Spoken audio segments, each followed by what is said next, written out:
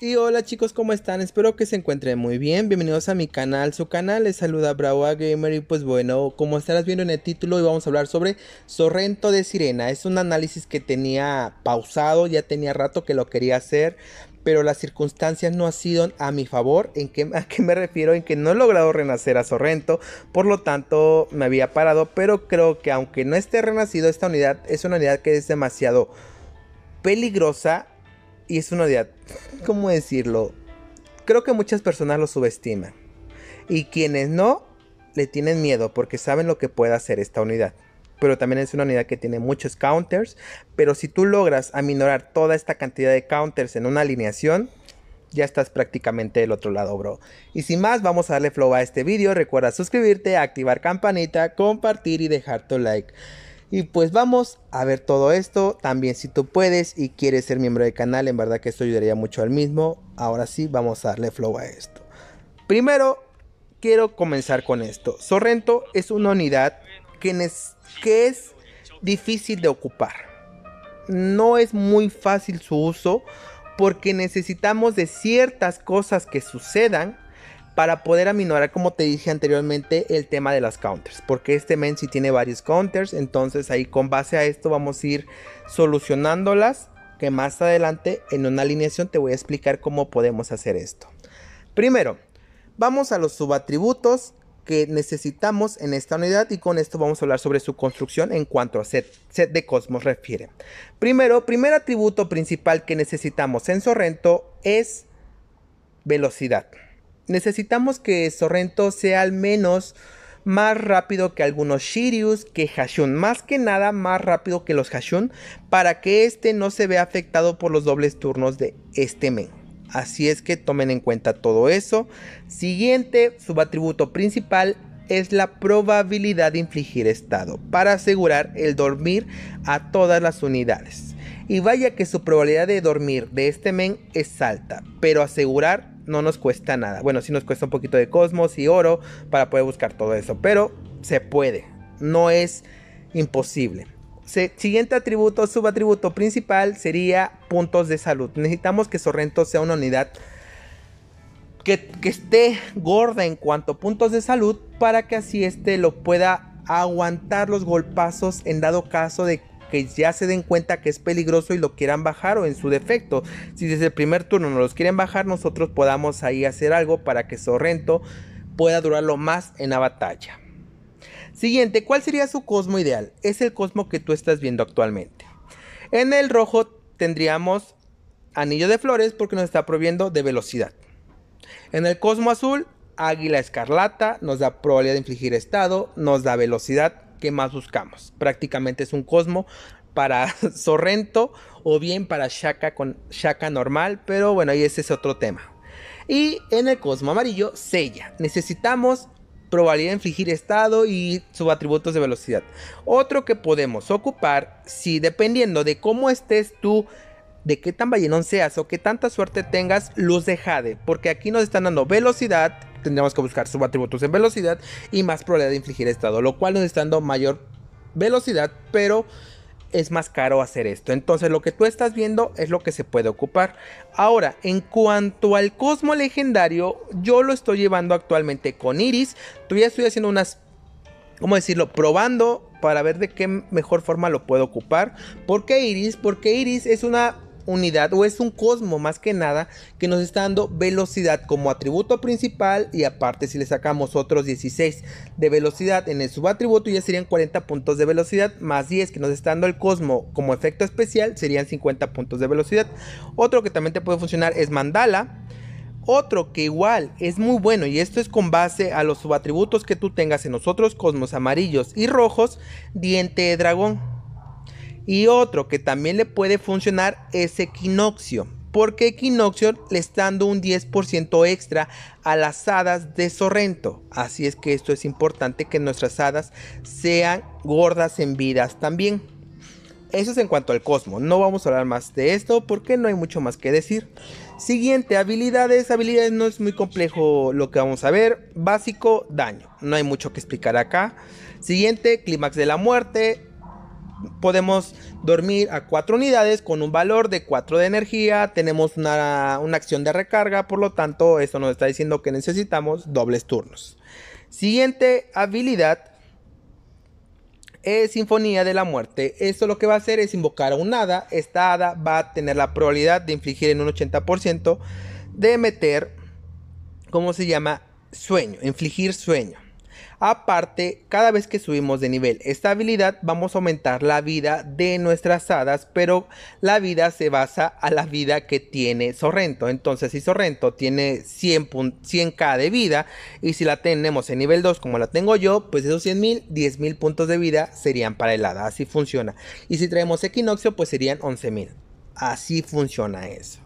Siguiente habilidad, Arrullo de Sirena lo que nos está diciendo es sueño profundo. ¿Cuál es la diferencia entre sueño profundo y sueño normal? Que el sueño normal, si le pegamos a la unidad, se despierta. Sueño profundo, si le pegamos, no se despierta. Por lo cual nos está diciendo que aquí uno de los principales counters de Sorrento es Yune de Camaleon. Más adelante vamos a hablar de ella. Ahora, ¿cómo sería lo óptimo para ocuparlo? Como estás viendo, no lo tengo tan elevado en Skill Apps. Así me ha funcionado. Es una unidad que necesita tener prácticamente alta todas sus, sus habilidades, entonces sí es un tanto cara para poder ocuparla, pero no significa que así como la tengo no se pueda ocupar porque varias personas han caído en adormición. Ahora, cuanto a su habilidad renacida, ahora es más interesante. Por la misma cantidad de vida, este, de energía, ya esta puede llegar a nivel 5, lo cual está aumentando su probabilidad de infligir sueño en un 85%, además de que este, si la unidad a enemiga a la cual hacemos target, al escogemos al momento de dormir, tenemos la probabilidad de un 100% de meterle sueño profundo. Y si esta no cae porque tiene inmunidad, así como Saori, Mew de Papillon en modo mariposa, Lune de Balrog en el futuro, la unidad que tenga Shon protegida con su escudo, pues le va a meter un potenciador de daño en nivel 5 de 1200% del ataque cósmico de Sorrento, lo cual en verdad que ayudaría mucho. Y si esto sucede, no va a haber turno de recarga para poder usar de nuevo el clímax de la muerte. Eso es lo que hace este men. ¿Cómo sería lo ideal para tener esta unidad? Es una unidad demasiado cara, sería 1555 para que esto pueda participar en un hammer. Pero si quieres solo trolear, estar un rato en Galáctico haciendo el mame, puedes ocuparlo de esta forma. ¿Qué priorizamos? ¿Sueño profundo o hadas? Yo priorizaría las hadas, la vida de las hadas, porque es importante que las hadas sigan en el campo de batalla, porque esas nos van a ayudar a amarrar todo el control que necesitamos. Ahora sí, vámonos con sus counters de este señor. Su principal counter de este señor es Shaka renacido. ¿Por qué? Porque este tiene la probabilidad de silenciarnos, de acallarnos, de enmudecernos, lo cual nos pone en muchos aprietos. Thanatos le hace counter a cualquier unidad de control. Así es que Thanatos sería un counter muy fuerte para esta unidad. Además de que seguramente con la explosión que haría nos mandaría a volar a nuestras pobres hadas.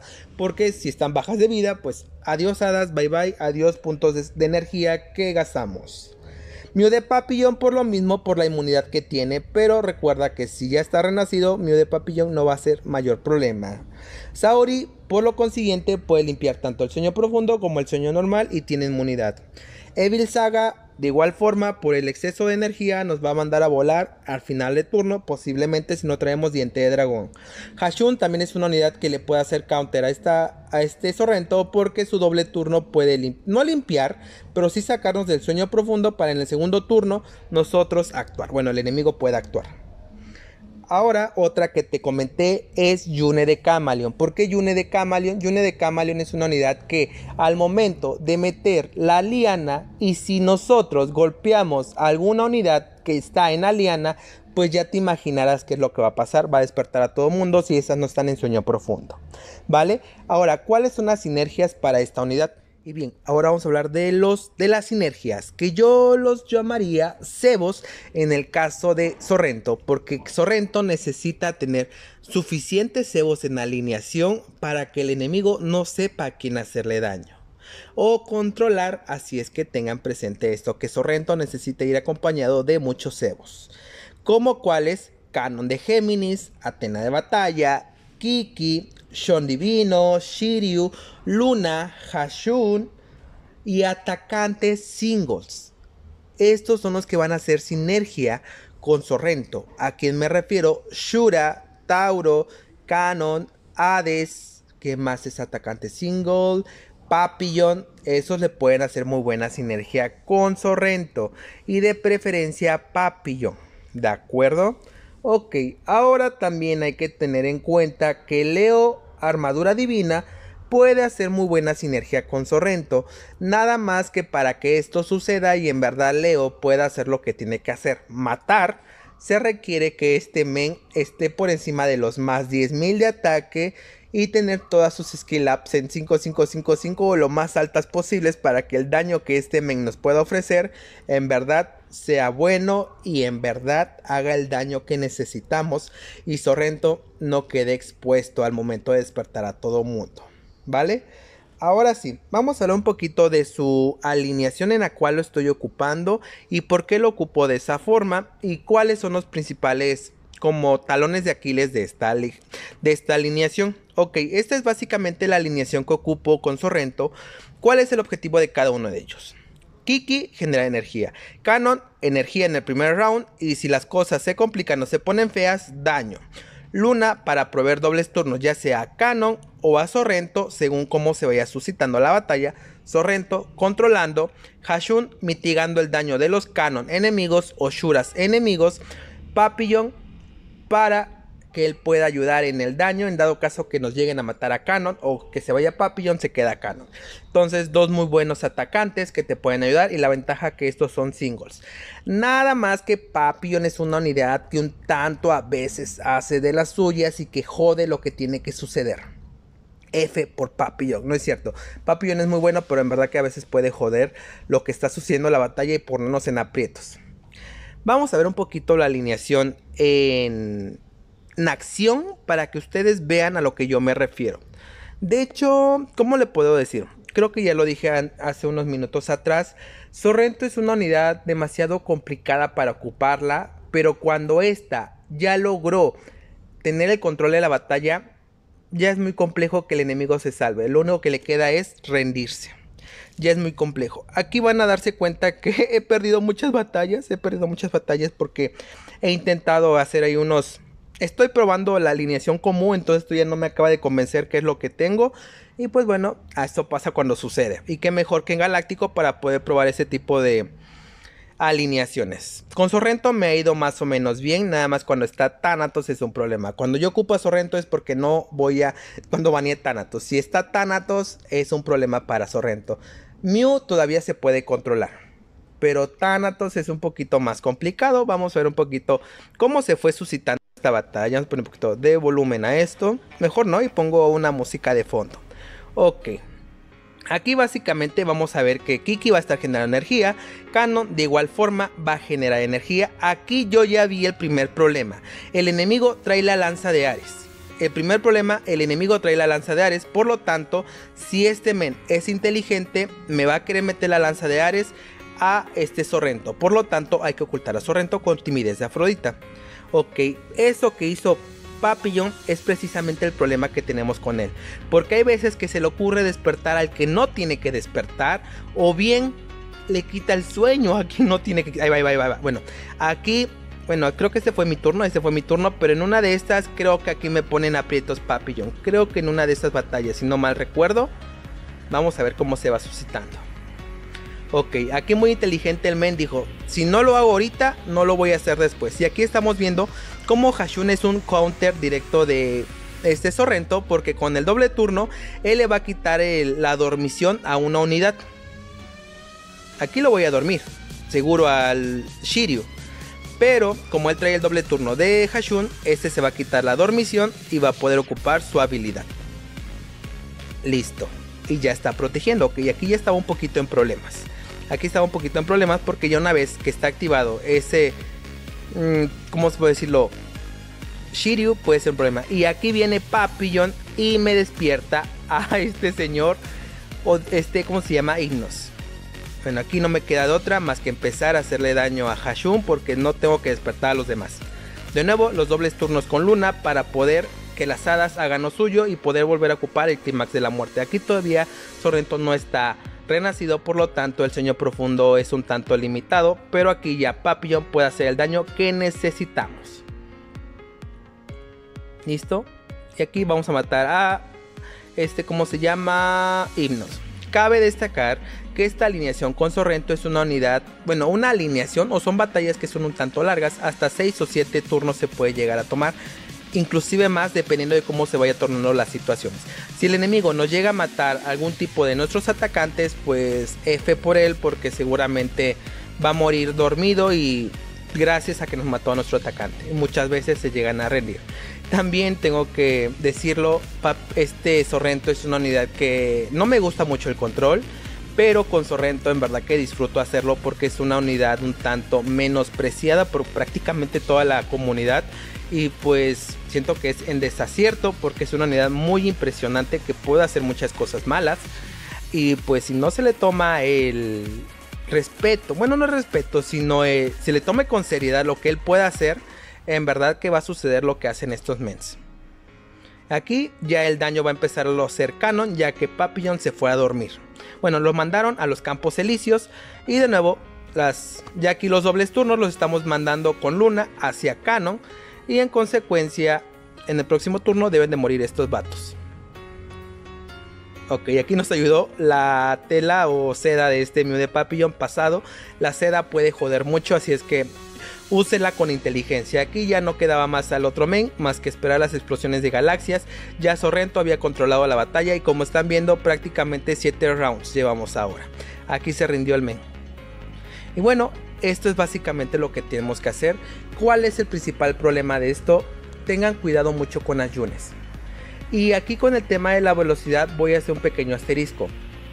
Sorrento debe ser una unidad que debe quedar al final de nuestra alineación o bien casi al final y las unidades que queden al final que tengan la apertura aún así sin uso de energía o guardarle la energía necesaria para que éstas no ataquen directamente al objetivo o al enemigo.